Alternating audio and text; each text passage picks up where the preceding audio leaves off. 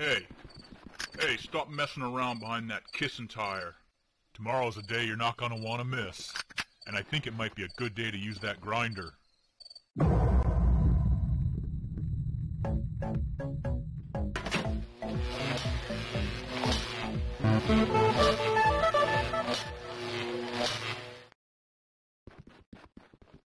Well, I guess you deserve this.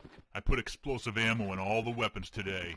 It's time for some revenge, Rambo style.